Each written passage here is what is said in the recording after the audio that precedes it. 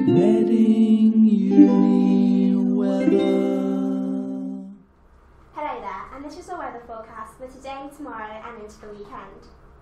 As we can see in this synoptic chart from last night, we've got some quite slack isobars bringing with it an easterly flow of continental air. We also have this occluded front over Scotland and northern England, which will have brought with it some occluded frontal rainfall overnight.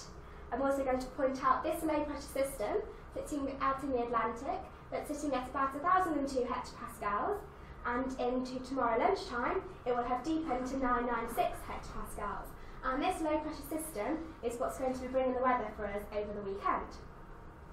Back to lunchtime today though, we have a quite a dry west of England with a, a, bit of a soggy east of England and soggy Scotland. So today definitely west is best in terms of rainfall.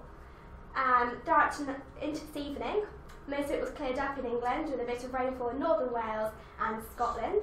And then into the night, um, England's pretty cloudy, Scotland's still a bit wet, with we're expecting about six millimetres of rainfall to fall there.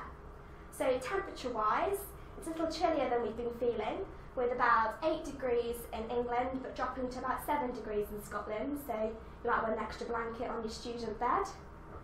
Then by tomorrow morning, a bit cloudy over England again, rain in Scotland and northern England. So it's more unsettled Friday and Thursday. It's cloudier, more widespread outbreaks of rain and showers, and temperatures will reach about 12 degrees in England and about 8 degrees in Scotland. So then throughout the day, rain still remains a bit patchy by dinner time. And so for the outlook, I'm still going to point out we've got this low pressure system. So this outlook here is showing a synoptic chart for lunchtime on Saturday. So throughout the weekend, we've got these fronts that are now occluded and sitting over the United Kingdom that will be bringing a bit of rain here and there. And then this low pressure system will move in and really become more dominant from Sunday. I'm also going to point out we've got a bit of a change of airflow to a more southerly direction, which might bring with it a bit warmer feel. We also have down in the corner here, we've got ex-Hurricane Nicole that we are expecting, whether it dies out or not, if it's still here, we're expecting it'll be bringing the weather for us for next week. So let's keep an eye out there.